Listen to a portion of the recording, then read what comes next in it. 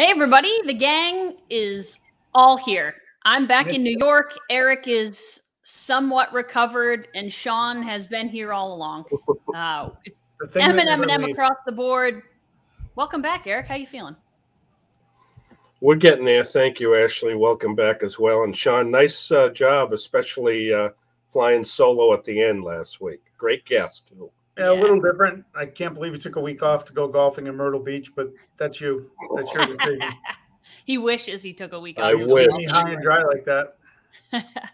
uh, guys, we got some breaking news in the NFL, which we're going to touch on and go back through last week's set of games. We're also going to do something a little different this week, which I'm excited about. Eric's going to tackle the topic of blowout losses.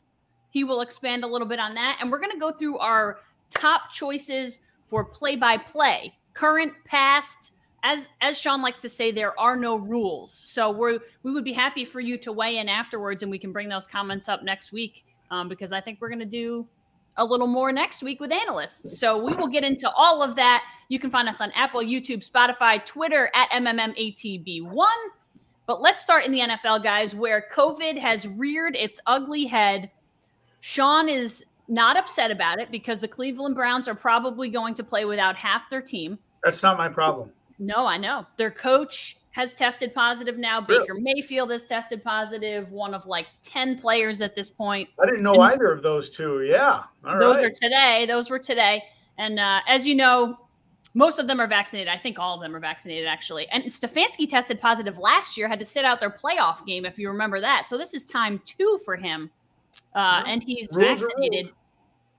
But you can do because they're vaccinated you can do two negative tests within 24 hours my thought is just if you're testing positive today you're probably not going to test negative twice within 24 hours before sunday but we'll, well see i'll tell you what if, if they cancel the game i'll take a stress-free win all right there's no apologies yeah no i'm sure you will I'll the way your raiders are going you need a stress-free win you're right. I'll take a. I'll take a, a. You know, it's Christmas cookie day at the Martin compound on Saturday, so I'll just focus on that and uh, and not worry too much about the football game.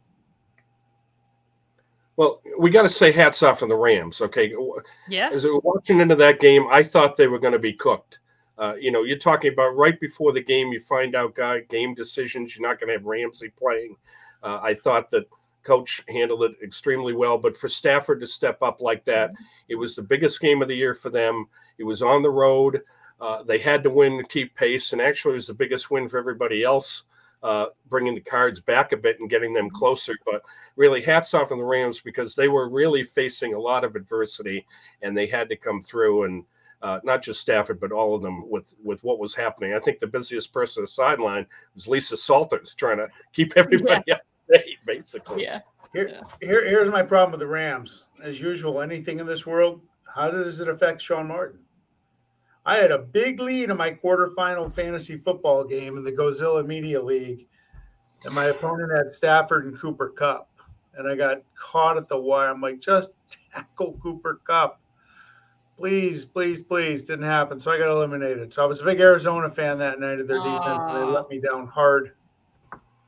Well, we don't feel that bad for you. That's okay. Uh, guys, I, I mentioned this last week to Sean and I was so unsure of the AFC North, and I'm still more unsure of the AFC North because you get the Ravens losing to the Browns. Granted, it was without Lamar Jackson for at least half of that game, but that that conference is or that division is such a logjam, and every week I have no idea if the Bengals are going to come out and lay an egg, if the Browns are going to come out and win, if the Ravens are going to come out and be themselves the Steelers still aren't dead. Like the Steelers can make a lot of noise this week with a big game. Who knows? I last week I picked excuse me, the Bengals to win the division. Mm-hmm. And in the NFC, the 49ers to miss the playoffs, largely thinking the Bengals were going to beat San Francisco at home on Sunday. Great game. Didn't happen. So now everything is totally scrambled. I don't know if mm-hmm. anybody wants that division. I don't know what the extent of Jackson's injury. I think he's going to play this week. Sounds like he is, yeah. Um, even still, they got a tough matchup with Green Bay coming to town. So I still think it's going to be the Bengals, but you know, there are the Browns right back in it. See if they can find life in Pittsburgh with their 84 year old quarterback. Um, just kind of hanging in there. I mean, the Ravens have 17 players in IR, 17 players on mm-hmm. injury reserve. We're not even talking about the COVID situation with that team. They're the ones that should win it, and yet it's remarkable that they're still out there. We talked earlier in the year about the injuries of the running back, but now everybody's hurt. When a when a coach has to go for a two point play because he's got down to his seventh guy in the depth chart and doesn't trust the secondary in overtime, that's a tough situation.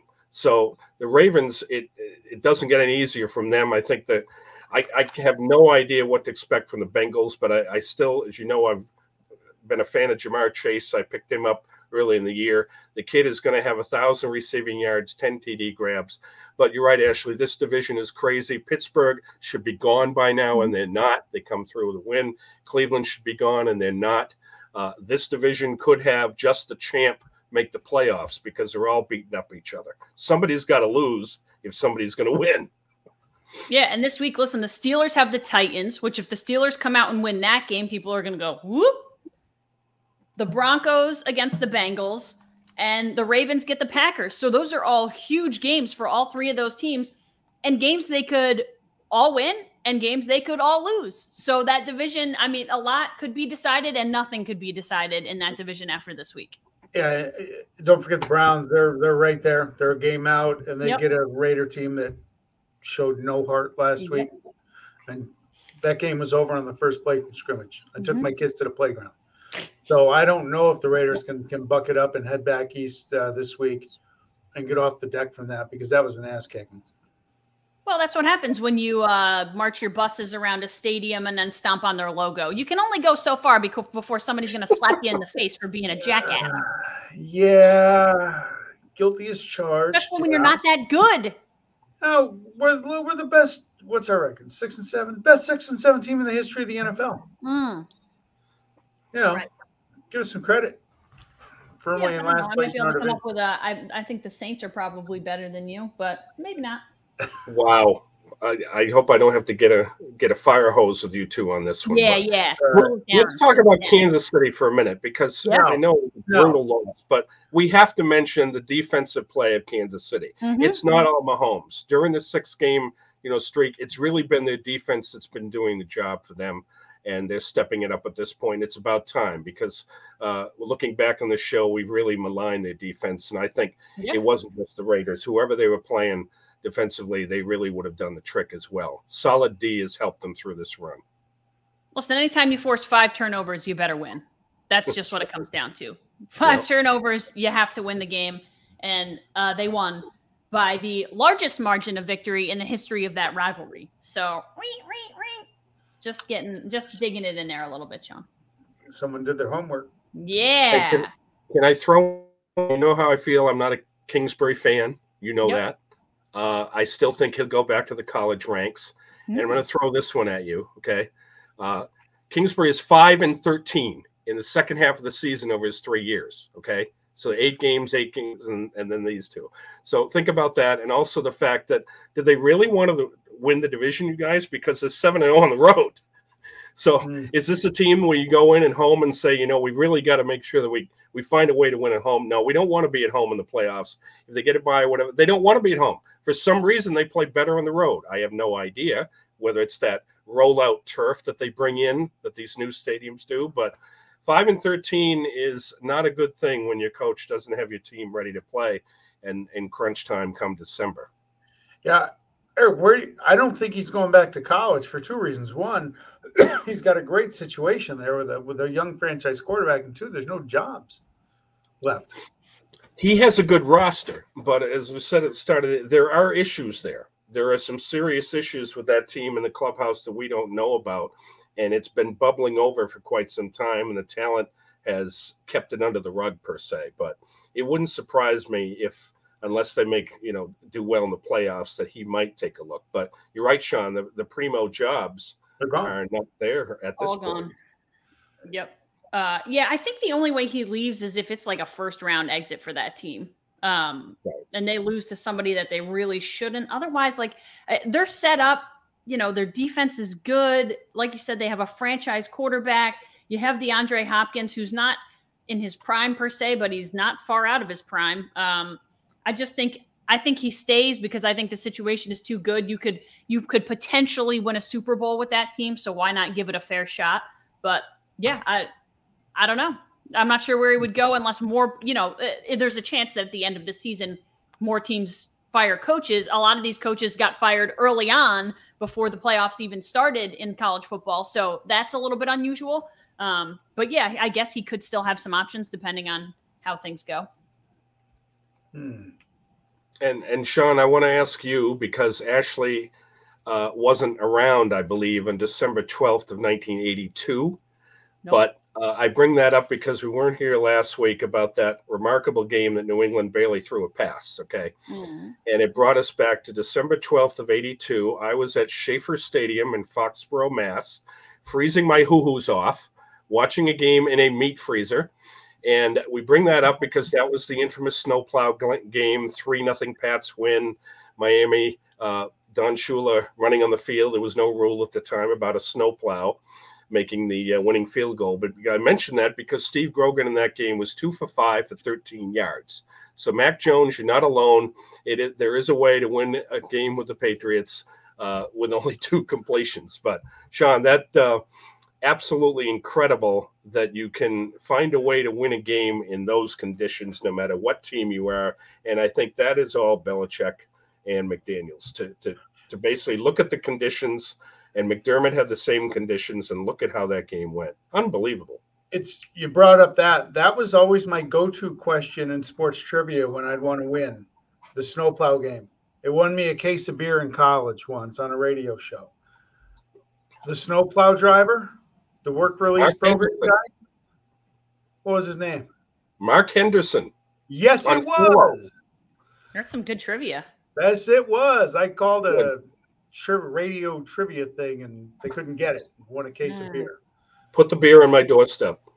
Two dollars and ninety nine cents a twelve pack. Stegmaier. How, how difficult is it with wind conditions like that to change your entire game plan? You two, and, remarkable. I, I, it's it's you find something you got a game plan for the for the running game you just keep at it. Yeah i right? i just think like rarely can you shift from a, they do both well. They throw it well they pass it well and they run it well but rarely is a team going to on a whim kind of say we are going to run the ball repeatedly 50 freaking times shove it down your throat and be successful at it. Because at some point you think the other team is going to be like okay they're running the ball and they're and they're going to stop you. But they didn't do that. So listen, if it's working and you don't have to throw the ball, why would you? I'll give the Bills credit the other day. They're coming off that awful game where look, when you can't stop somebody on the ground and they run every play, that challenges your manhood in football. Mm-hmm. Okay. Then they fall behind 24 to 3 in Tampa. They, they made a great rally. I thought they were going to win the game.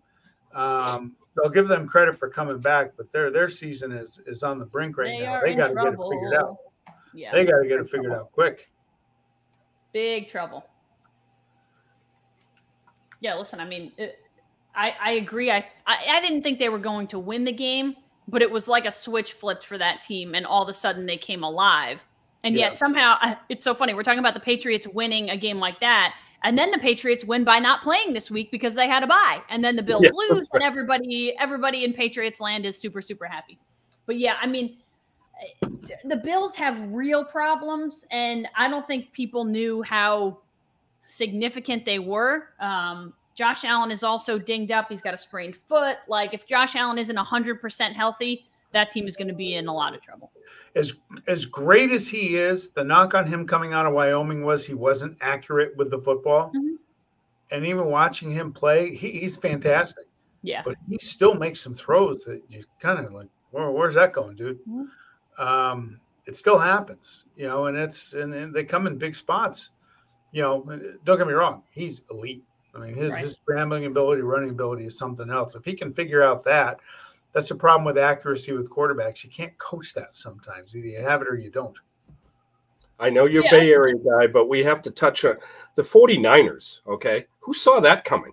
Seriously, Garoppolo's not one of the best, but I've never seen a team that can be transformed by a tight end coming back, okay?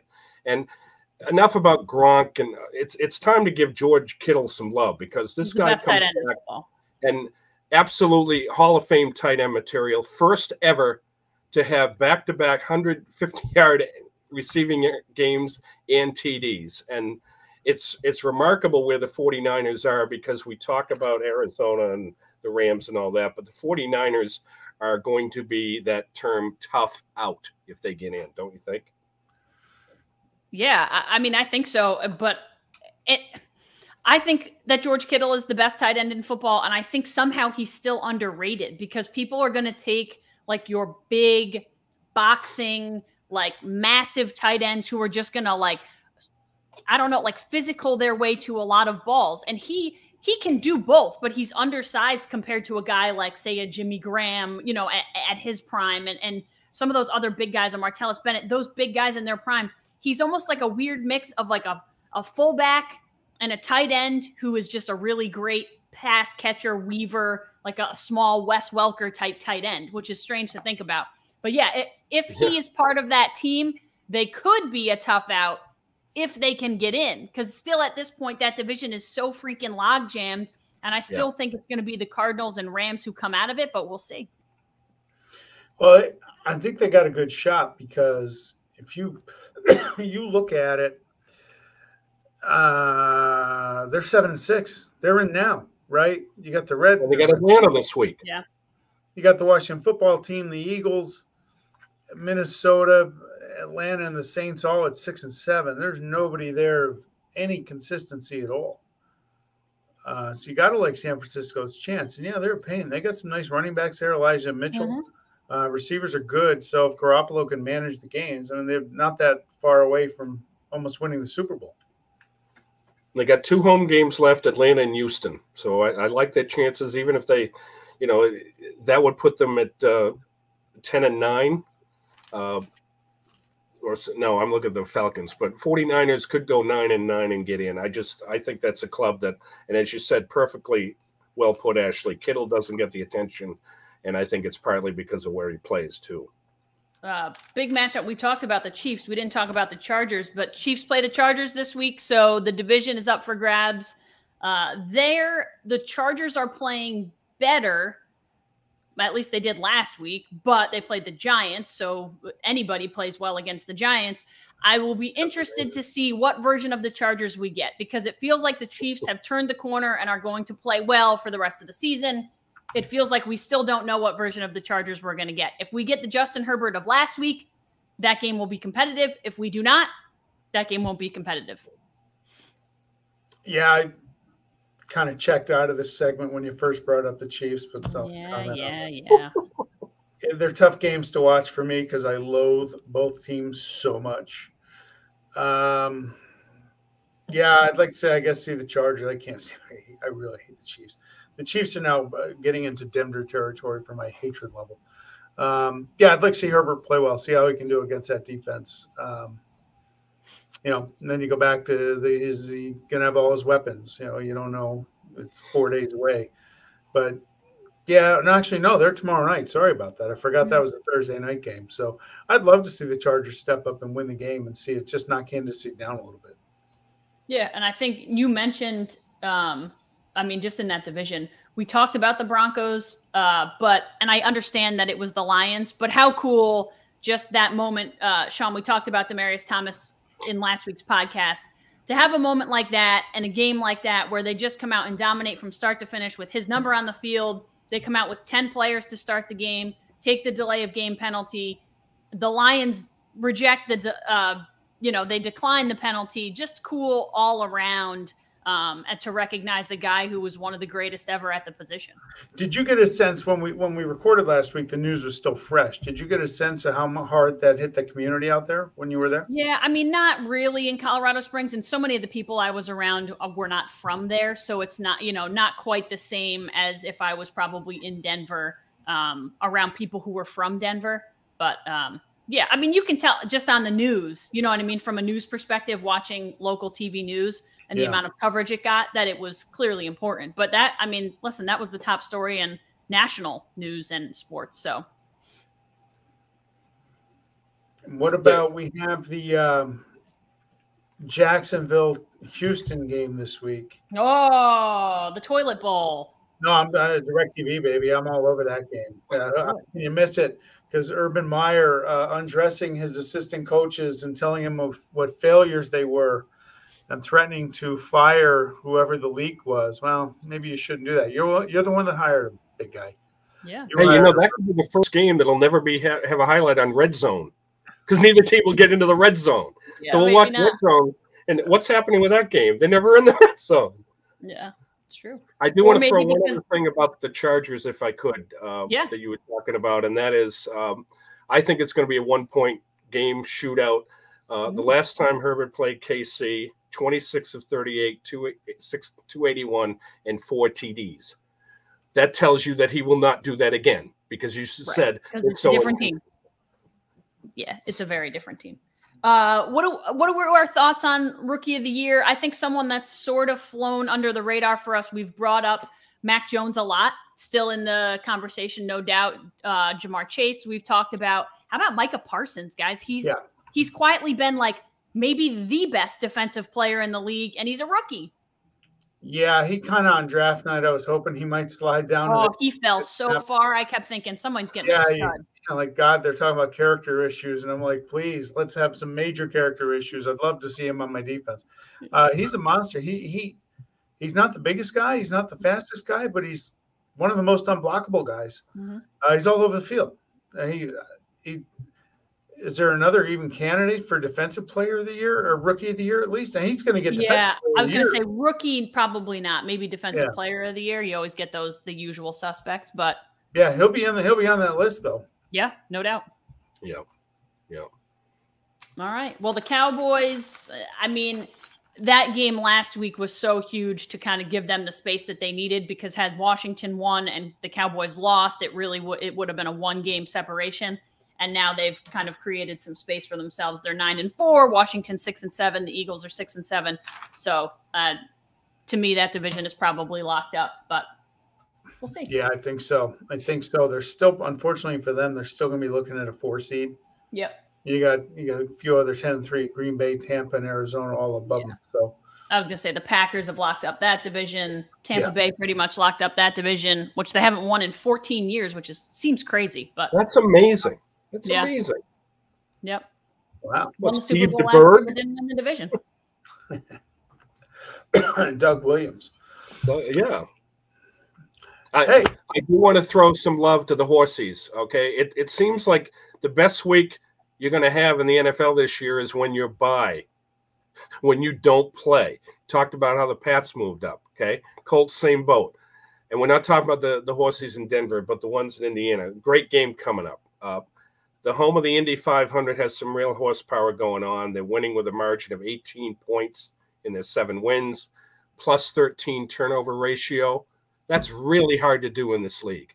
And 29 takeaways. This is a team to watch. They host New England statement game for the Colts. Mm-hmm. I think mm-hmm. they got a shot in this one. And they are another team nobody wants to play in the playoffs. But Sean, you're right. I would say they have a much better chance of getting into the playoffs than the uh, the teams that we've talked about that are on the cusp. So I didn't even mention Jonathan Taylor when I mentioned the Colts. So I think this is their biggest game, and they are playing excellent football, and they are ready to uh, take away Tennessee's division lead. I think. We shall see. We shall see. Big one Saturday night. Hey, folks, the current supply and demand challenges within the auto industry makes this a perfect time for you to get top dollar for your vehicle. Right now at Mohawk Honda, you can take advantage of the Kelley Blue Book Instant Cash Offer. They will put cash in your hand, even if you don't buy from them, the same day. That's a pretty sweet deal, especially for all those recent college grads or students in need of a new ride or some extra cash. Mohawk Honda has consistently kept their lot fully stocked of hundreds of pre owned vehicles. Their large inventory makes shopping fun as you browse through the many makes and models to choose from.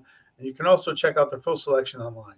So stop in and say hi to Greg Johnson, the assistant general manager, Jake Hot Sauce Doyle, Luis, the VIP man Morales, are one of the many helpful sales consultants here at Mohawk Honda. There's a vast selection of Honda certified pre owned vehicles, so now is the time to take advantage of the Kelley Blue Book Instant Cash offer. Mohawk Honda in Glenville, where they always go out of their way to please you. All right. Who's up? Eric? I call AAA because we're going to talk about blowouts. All right. Two in particular. Fire blowouts. But I want to end with a smile, and I'll tell you why. So, in all the years I've had in sports, I know these have happened, unfortunately, not too often, but I have been there. Talk about that a little bit. Talking about blowouts. Recently, Memphis Grizzlies 152, Oklahoma City Thunder 79, shattered the NBA record for largest margin of victory. 71 points topped the previous mark, 68 of Cleveland when they beat the Heat in 91. Now, Memphis was without its best player, Dave Morant. The Grizzlies made 63% of the shots without him.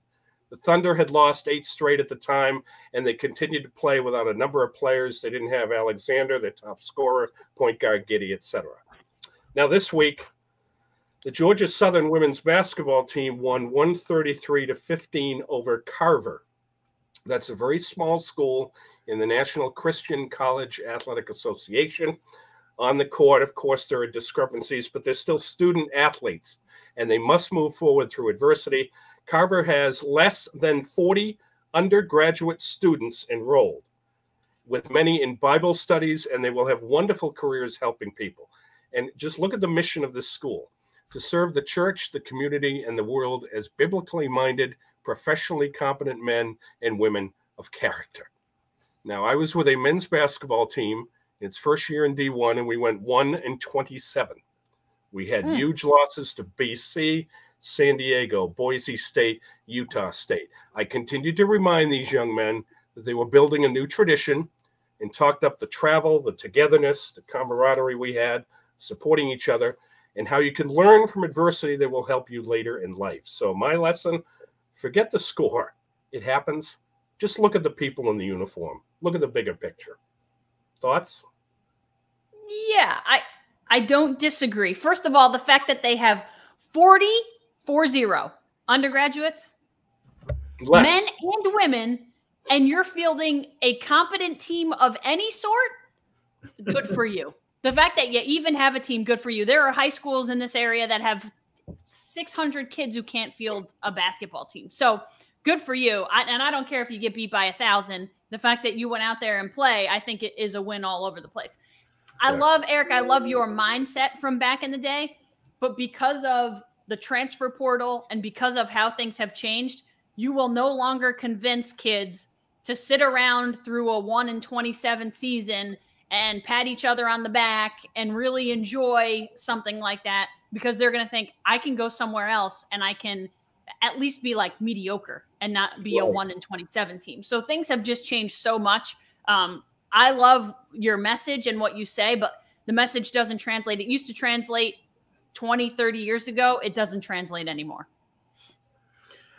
Yeah, your message is right. It's about the experience when you're at that level. Uh, when you're talking college, you're talking pro sports. Mm-hmm. You get your doors blown off. You got to look at yourself in the mirror individually as a team. I have no sympathy because nobody else does. Your opponents aren't. You know, we had uh, you see, you see high school scores, you know, 100 to 12, and you feel bad for the team that lost, but for the team that won, unless you're putting on like full court zone pressure defense, right?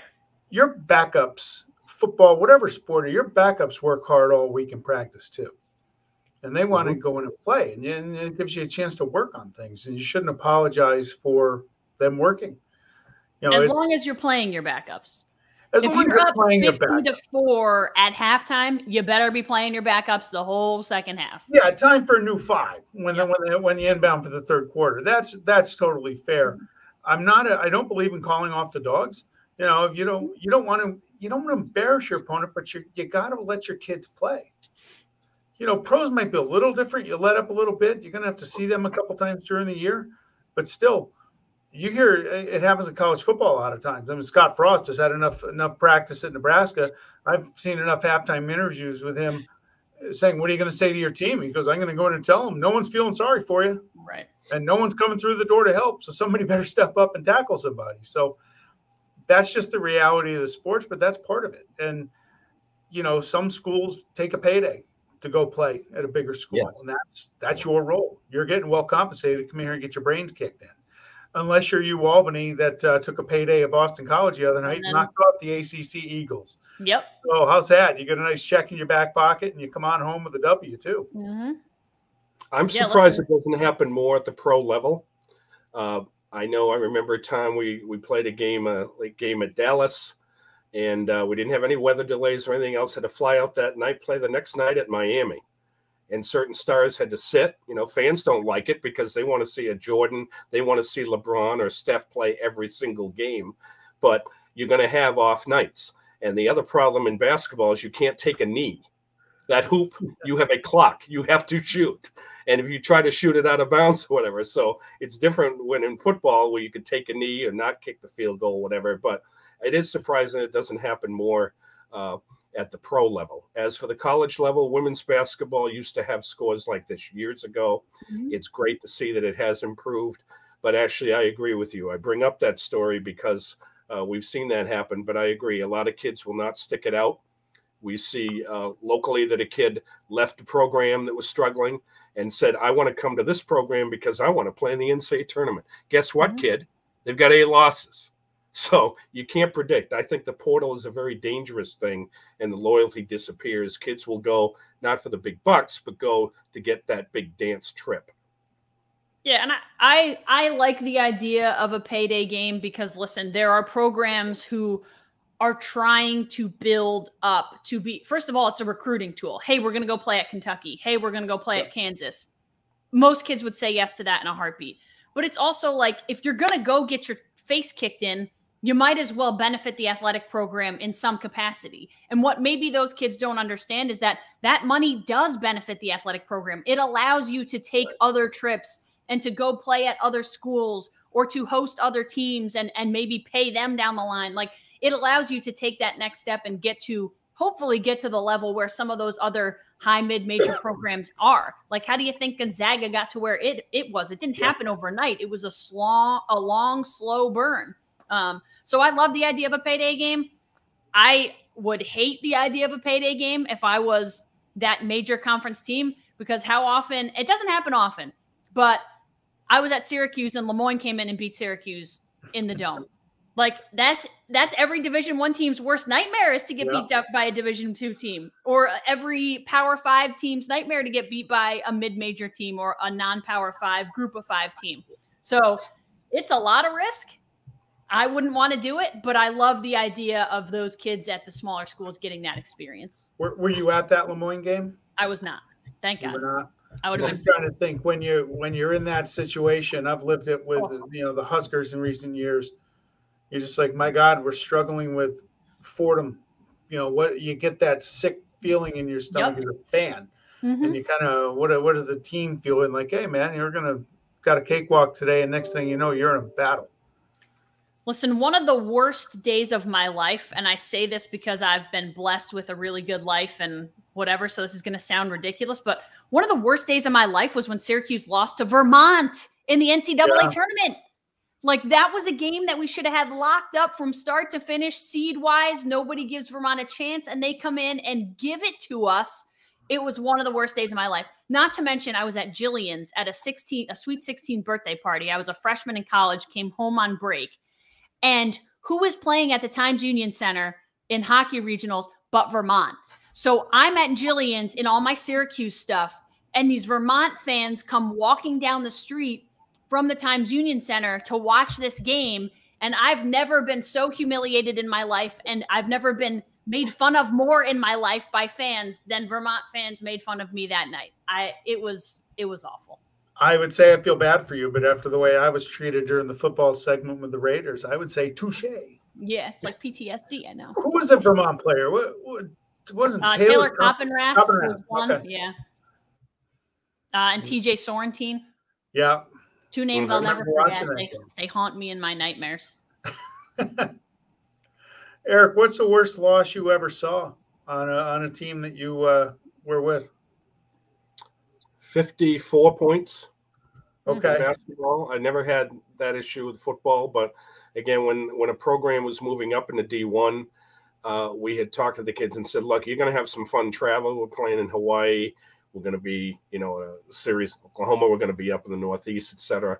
It was about Ashley said the money that comes in that goes back to the program. And so what we did is we got checks galore, but these were Division two student athletes, and there's no way around it. And the coach was also a Division two coach that had not had any time in D1. So it took about three and a half years, and I think six years later they won the conference. But hmm, that loss was devastating. Quick. It was absolutely devastating. That one in particular was not against a team that was ranked. It was a mid-major, as we say, and so that was ugly. Uh, I will say, uh, as an assistant at a school, we played UConn when Calhoun uh, had just got things going, and we trailed 22 to nothing, and that's when the ESPN ticker started and people were saying, why is there a game of this school against UConn in football at this time of the year? It wasn't. That was the worst game, but I actually will share that I was the mascot for that game. Ah. I actually dressed in a kitty outfit and it was a lot of fun. People were throwing things at me, but it was something I'd always wanted to do. And I my boss said, you know what? You had the best seat in the house for us. You were covered. Yeah, you're right. Cover your face.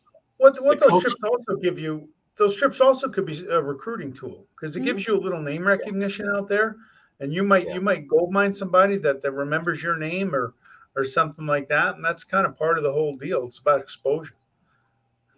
The coach yeah, Sean put that to bed. The coach went over, called timeout, another timeout. He was out of timeouts first half.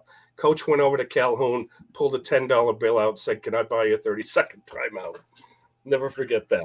I love it. That, but that's what sports is all about. At some point, it just has to be like, well, you know, um, I I think it's so rare. I can't remember the last time I saw a score like that OKC Memphis game ever in the NBA. I, I, in my whole life, I don't remember a score like that. So I feel like it happens much more at the college level when you get those disparities than it does at the pro level. And I know there are some bad pro teams, but like 152 points who is giving up 152 points to not even close to the best team in the NBA? Uh, there, yeah. you rarely see scores like that, and it, I think pretty often when you see like a 25 point margin, you're like, "Ooh, they got their tails kicked last night."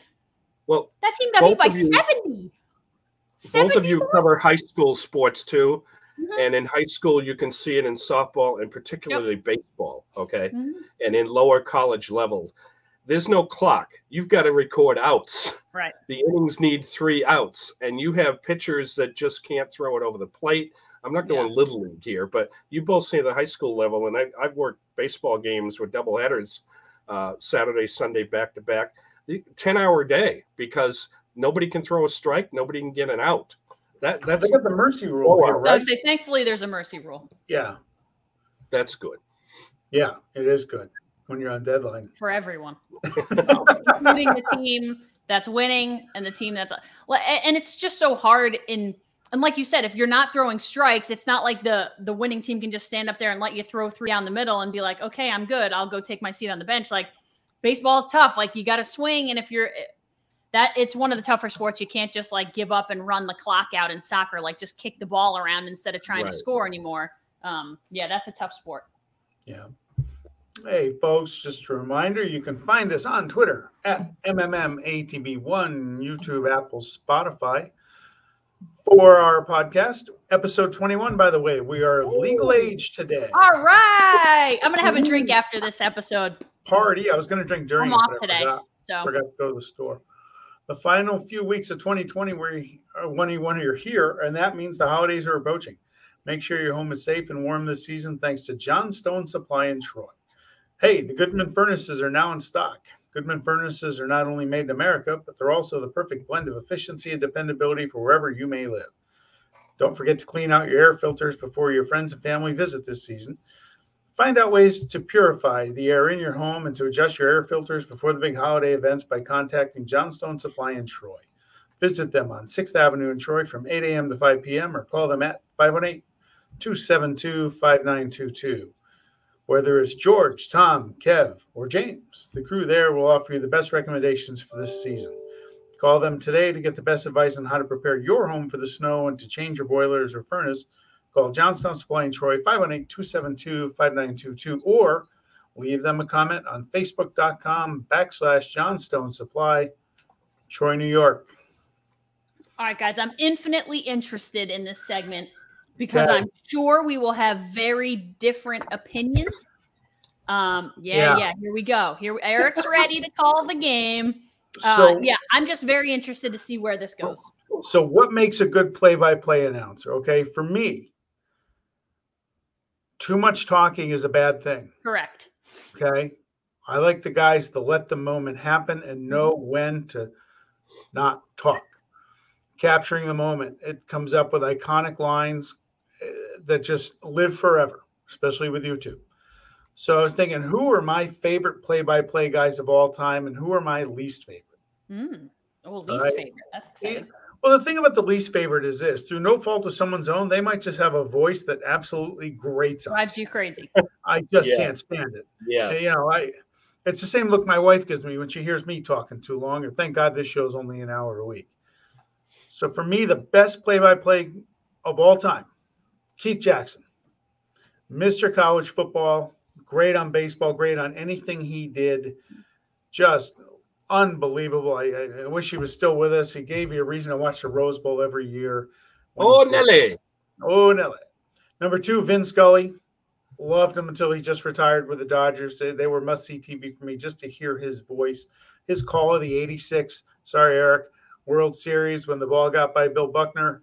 Ray Knight came around to score. The Mets won it. it was fantastic.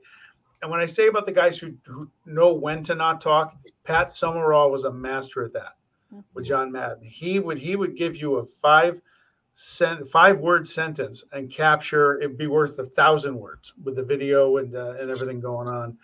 Uh, Ashley, you're, you're, probably too young to remember him, but Curt Gowdy uh, back in the 70s and 80s, uh, an old Is fisherman. Number four? Is this what? He's number four, Curt Gowdy. He was a big NFL guy. I used to see him a lot uh, with the Oakland Raiders of the 70s. Used to always see him cover those games. He was on the Super Bowl every other year. Okay. Number five, recently retired. The greatest NHL play-by-play guy ever was Dan Kelly. It was a long, long time ago. Doc Emrick. Could yeah. just love yeah. to listen to Doc Emrick's voice and just his knowledge of the game mm-hmm.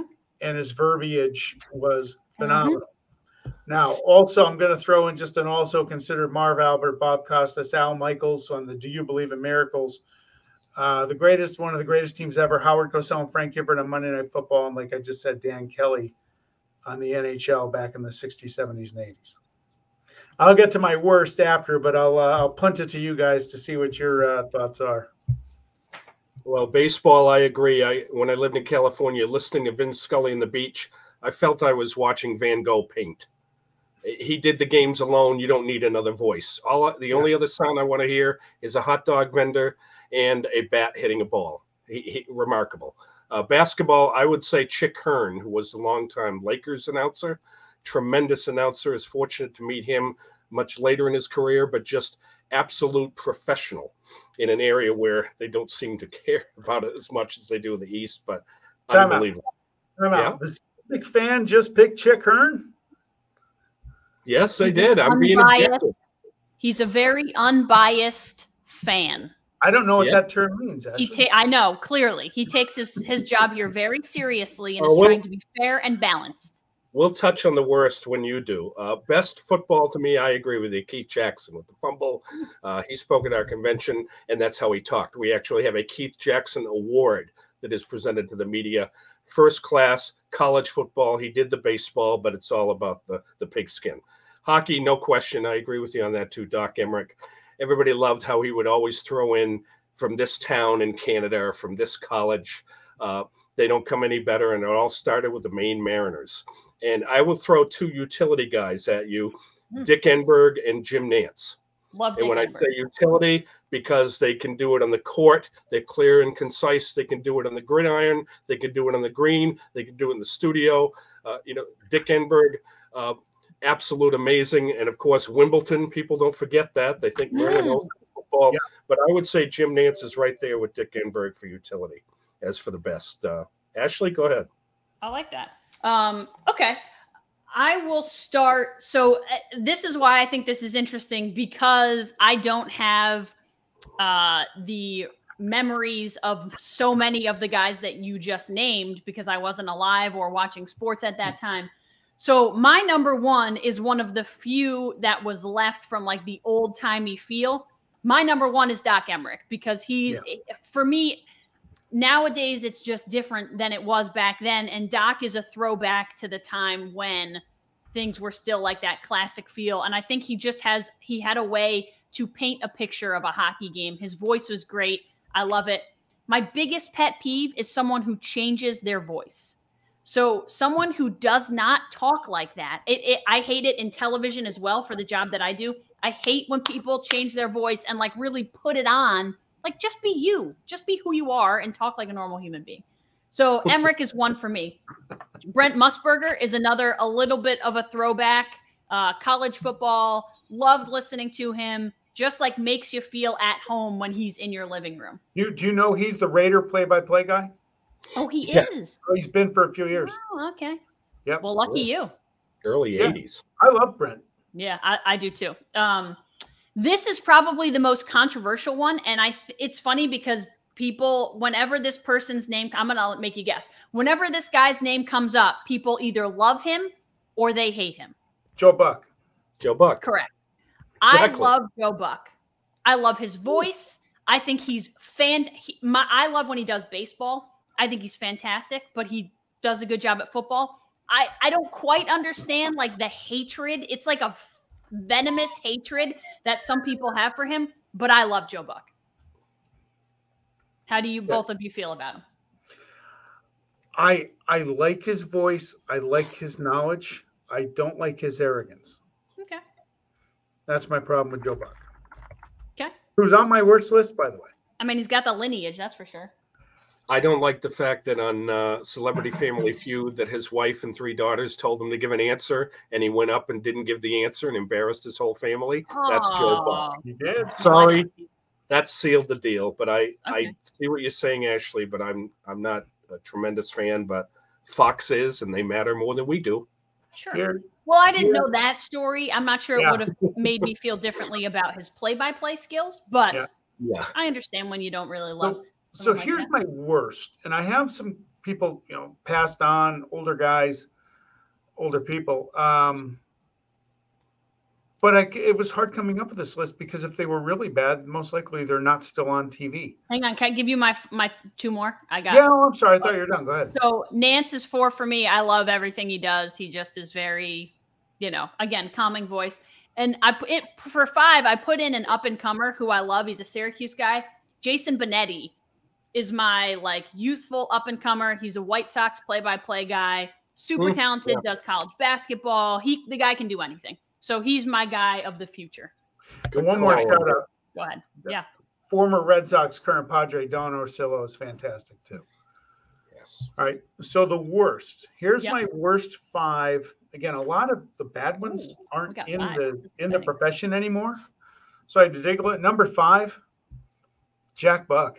I couldn't stand him. God, you don't like Joe. You don't like Jack. This is terrible. No, I couldn't stand Jack Buck. He had one good call when when uh, Kirby Puckett won Game Six of the '91 World Series when he said, "We'll see you tomorrow night." That was great. The others, I just couldn't stand him. Number four, let's keep it in the family. Joe Buck for the aforementioned reasons. Number three is Mike Tirico. Yeah. I just can't stand his voice. Oh, oh my god. He's okay on golf. Some yeah. guys are good on some stuff. I don't like him in the NFL. It's it's no, I just ugh, I can't stand it. Number two is one of the most popular play-by-play guys in the country right now, Kevin Harlan. Uh, you know what? Oh, his he bothers me a little bit too because yeah. I feel like he puts it on. He's got that voice going. Yes. Yeah, I feel. I would be happy to meet him and be like, "Hey, what do you really talk like?" But I feel like he it's a little thick for me. yeah, it is, and not every play is the greatest play in the history. Of Correct. Sports. So like, okay? ah! exactly. Yeah. And number one, and there there is no. I mean, you got number one up here and two, and we're regional. And if if you haven't listened to them, don't. John Michael Sterling, K. Suzyn Waldman for the oh. New York Yankee Radio. I thought you were going to say Michael Kay, but uh, you could throw him in there. I was actually going to say anybody to do with the Yankees, the TV and the radio. That's not true. Ryan Ruocco's a star. I don't know anything about him. Sterling and Waldman are just unlistenable. I used to be old. at work and I'd want to listen to a radio game in the radio. I got TV in my office now, thankfully. I used to want to watch game in the listen to a game in the radio and hear the Yankee announcers come on. I'm like, I can't listen to this game. Listen, I will raise you, Sterling and, and Waldman, and and you're gonna hate this. But the first time I ever heard Vin Scully call a game, I thought to myself, oh my God, what the hell am I listening to? Because the first time I ever heard him call a game was probably like two or three years ago. He was already ancient. He was calling a game by himself. He was telling himself stories, talking to himself. And I just thought to myself, call the damn game. What what is everyone so excited about for this you Vin were, Scully guy? because I had never, you know, he's he's on the West Coast. I had never really heard him call games before. So that to me, your Suzyn and Sterling, eh, that yeah. that to me is Vince Scully. I just can't get into it. I couldn't get into it. Well, he was probably 88 years old. I know, but that's what I'm saying. Sterling is 80 something years old. Let me let me tell you, when for somebody that did it in college and then worked at colleges, calling baseball by yourself is the most difficult thing in oh, broadcasting. No doubt. I had two games at the University of Hawaii with rain delays, okay? No. And I'm solo calling the game. You've got to do a ton of homework You've yeah. got to have a lot of stories. That doesn't mean that the story misses strike three. You work it in. Right. And you right. baseball though, also you know when to breathe. You don't mm-hmm. have to talk like hockey every single second. So mm-hmm. baseball to me, the iconic Hall of Fame announcers need those stories that their real fans want to hear, but they also need to know when to not talk. And Buck right. has improved with that like Sean McDonough did in a walk-off homer when he did CBS in the series. I love but McDonough. Very difficult to do. Love yep. McDonough. Yeah, I'll give good. you my worst by sport all time. Baseball, Ken Harrelson. Okay, come on, Paulie. We kiss another word. Goodbye. I don't mind the goodbye call, but I'm tired of the wee wee wee. Okay, don't want to hear that. Come on, Polly. Why don't you go in the dugout and pat him on the back? Okay. Basketball. Uh, I'm not a homer. Johnny Most of the Celtics. He had a very gravelly old voice, big time homer, famous for a game in the playoffs against the Pistons when he says, Hey, mauled Bird. Laimbeer should be put in jail, put in prison. Good. That is not the way that you teach kids how to broadcast, but his mic did get uh, uh, honored and rise to the rafters. Football, I'm sorry, Buck, we've talked enough about that. Mm-hmm. And hockey, recently retired an icon in Pittsburgh. His name is Mike Lange. Okay, Pittsburgh loved him. But just watch his highlights, folks. You'll hear "Slap me silly, Sydney," and and one another one was he just lost his liquor license. What the hell are you talking about? And my my two favorite, "Save my face with a rusty razor," and the pens are smiling like a butcher's dog. What the hell are you talking about? Yeah. But he's an I icon. Penguins, but I liked him. Oh my God, absolute wacko. But Pittsburgh yeah. loved him, just like St. Louis in the Midwest grew up with Jack Buck and they loved him. Mm-hmm. I can't. Uh, I got. Yeah, I've given you. I gave you my Vince Scully story. I do not feel like I can go out and just hack job someone in my profession because I am about to go do sidelines for a team and it just feels wrong. Uh, so I'm not going to give you my least favorites. I d- I don't love Vin Scully like everyone else does. Um, I'm a Yankee homer, and I don't love the Yankees broadcasters. But that's as much as I'll say there. I don't want to, you know, I don't want to destroy anyone and their career and confidence, and not that they need, not that I'm going to destroy any confidence. Oh, by the way, you're like you're it would gonna, bring me some bad juju. You're going to do awesome for the Firewolves. Well, thank you. All right, are we ready? That was a fun one. Next week we're gonna do uh analysts. Analysts. All right, perfect. I love it. Yeah, Boomer Esiason, you're on notice, pal. Woo! All right, it's time. It's time. The whiteboard. Who wants to go first? Why don't we have the Kansas Jayhawk go first? All right, Kansas Jayhawk. Yeah, let's get that back yeah, on. Lift it up. Take your uh, announcer hat off. Bob Dole. I'm not Norm Macdonald. He did a great Bob Dole. May he rest in peace. Now, when I was young, I was with my grandmother in an event, and we were fortunate to meet the senator from Kansas, Robert Dole. He's a war hero, an American who didn't care about political parties. He passed away last week. He greeted me by saying, Hello, young man, Bob Dole here. It reminds me now of Rickey Henderson, that first person thing that they do, you know, where Ricky said, Ricky says, thank you for the tickets. Tell Ricky I like you too. Now, I saw the senator speak at our sports PR convention many years later. What's the sports connection with him? Many people don't hear about this, but he was recruited at Kansas by the legendary Phog Allen.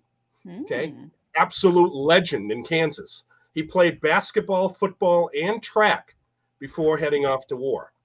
So today, you want to pay tribute to a person who survived a difficult battle, served their country, and greeted you and listened to you and gave you the honor of being in his presence.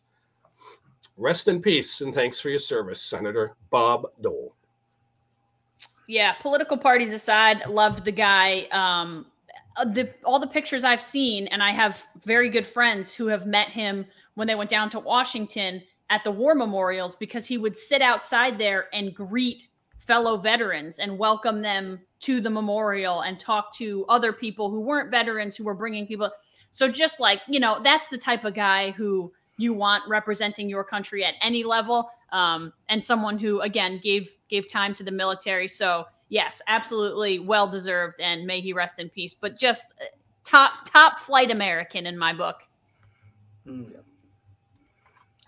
All right, Ashley, you or me? Me next. Go for it. I'll go, sure. Oh, up. Steph, the new king of the three in the NBA. Really cool moment. This was last night um, as we tape on a Wednesday here.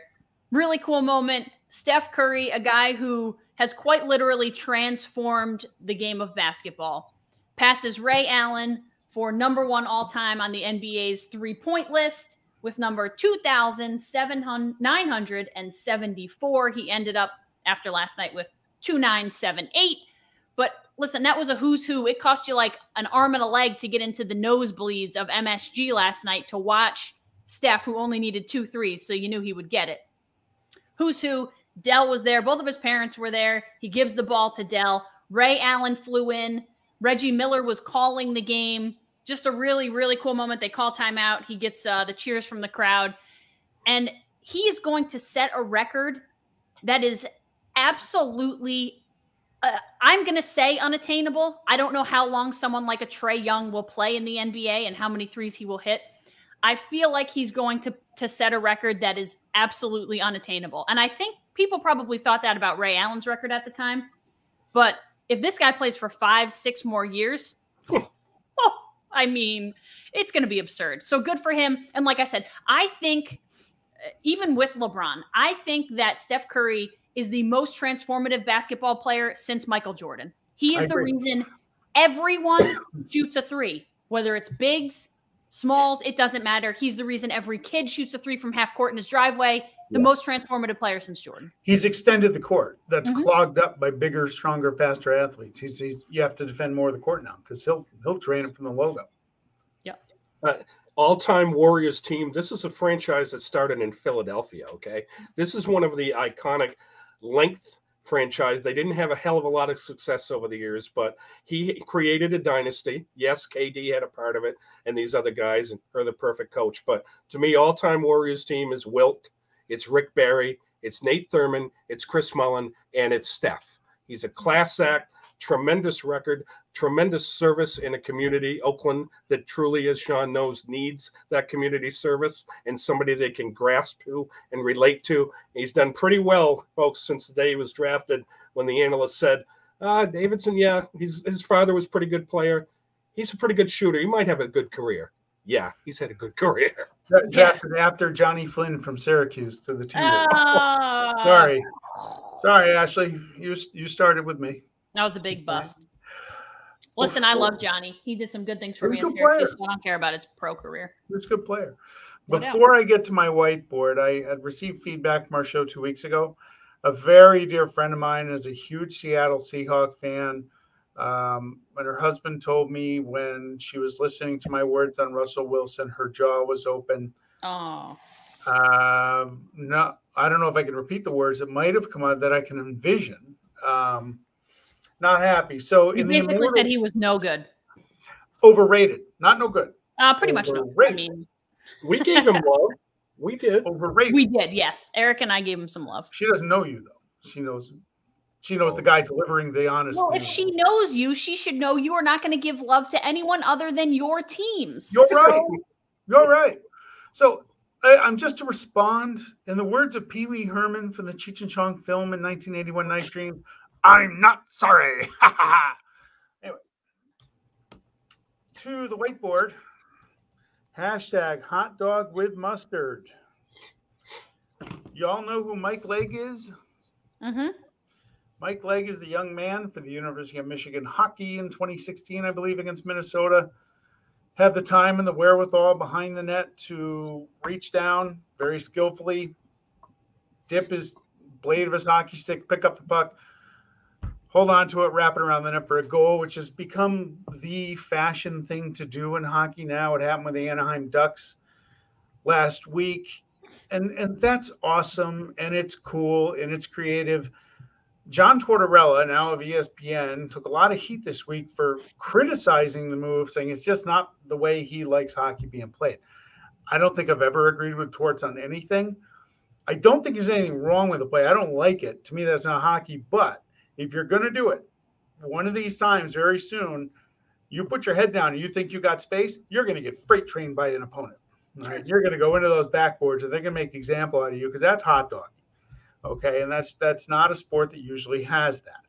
So do your Michigan move. That's how good the move was. It's called the Michigan. That's how you know it, it's phenomenal, and it takes a lot of skill. That's something you do in a skills competition, an All Star game, maybe not an NHL game, and somebody is going to get drilled by doing it. Well, if I Yeah. coach a def- defenseman, uh, Yeah. I want to know how the hell the kid had that much time to do that behind the net. Okay, if I'm a goaler, I coach a defenseman. Why is he open and able to do that? It is Yeah. a difficult play, and it is legal because it's shot under the pads. I'm not a fan of it either, but uh, it that goes back on the defense. And if I'm a goalie, I would plaster the kid behind the net. Well, if, if I'm a coach, you may not get the guy after the goal and then save yourself a penalty, but you may get them later in the game. Yes. Um, you, to me, you're showing up your opponent when you do that. I, I might be old school too much on that. Uh, not a big fan. Although the kid from Anaheim scooped the puck over the net off of the Saber goalie and into it, so it was very creative. Um, but you got to have your head on a swivel if you're going to do Yeah. those things. Listen, I think probably when Legg did it in 1996, it was not a hot dog move. It was probably like, listen, I think I can do this. Like, I think I can just sneak it in behind him. Since then, it's become a little bit of a hot dog move. To me, it feels very lacrosse. I've watched a lot. I've Yeah. watched a lot of lacrosse these days, and it's you know Gary Gait over the back, uh, air Gait trying to you know scoop it in, or from around the backside. It feels very lacrosse it's going to sound weird, but when you see it, it feels like a travel. Like it feels like a travel in basketball. like you're picking it up and you're carrying it, and it almost feels like it shouldn't be allowed. But I, I'm not going to take that away from anybody. Like you want to try it, you want to get beat up by the defense, have at it. I always say, if you don't want them to do it, then stop the damn puck. Stop. Stop the Right. puck from going in the goal if you don't want them to do it. So I I, have no with problem with it. Yeah. It feels weird, but have at it. I agree with what you're saying. I don't like it, but I agree with it because yeah, if you're going to have the time they're going to lay off you, and thank you for correcting me. I think I said 2016. The goal Yeah. was 96. Um, yeah, but be prepared to pay the price. So Yeah. don't whine if you get if you get your, your clock cleaned Yeah. after doing that move. I That's- enjoy that you uh, used hashtag hot dog with mustard because I will tell you, I went through the Chicago airport uh, on my way back from Colorado Springs. And what did I get? A hot dog with mustard. Wow. All things come full Chicago circle. hot dog. Thank you very much as we're taping this during lunch. Really appreciate that. I know I'm starving. Yeah. All right, let's get the heck out of here. It's been All right. fun. Week 21, I'm going drinking. Absolutely. I'm going raging here. It's my day off, so I can have a beer with my hot dog at lunchtime. Little Guys, day it's been fun. We'll do it again next week, Christmas week. So we'll see you then one more time before the holiday. All righty. Have a great week. See ya.